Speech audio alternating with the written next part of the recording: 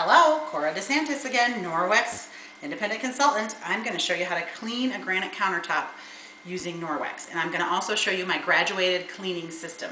So first, let's get the counter awful dirty with some butter. This is butter smearing on here. Oh my gosh, it's a little hard from the fridge. But we are smearing it on, making it all dirty. Now, when I use Norwex to clean with, the first thing I use is the EnviroCloth. That looks like this. So the EnviroCloth cleans granite super good and easy, and what I love about it is a lot of times when you use any product, you have a weird film left over. That does not happen with Norwex. You use no products, just water. That was a wet EnviroCloth.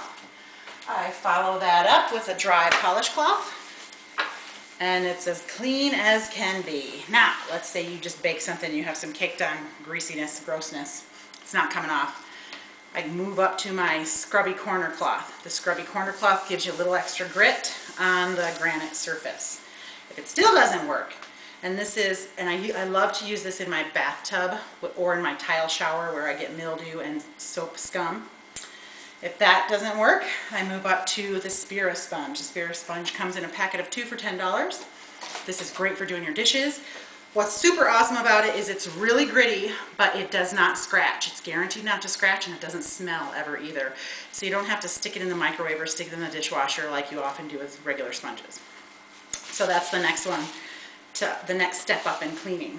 If you need to go a little higher, like let's say you're cleaning your oven, this is the Spirinett. And the Spirinett is sort of like an all-natural Brillo pad.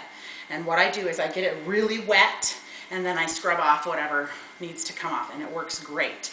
In my oven, I have a picture of doing both sides and it's night and day difference. If it doesn't work still, I pull out the cleaning paste. The cleaning paste is made out of three ingredients, lemon, coconut oil, and marble flour. And this will get off anything and it's not toxic smelling, but I do love it on my shower, in the mildew, and in the soap scum, and in around the kitchen, and all where you have mineral deposits like around your sink that kind of thing. So that is my graduated cleaning system with Norwex. If you have any questions, feel free to contact me. I can be reached at coradesantis.norwex.biz.